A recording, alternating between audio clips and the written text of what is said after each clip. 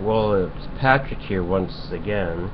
Do you remember on the video I just told you that there's uh, several flying saucers landing? And I just saw a really, really, really big flying saucer headed towards Lakeshore?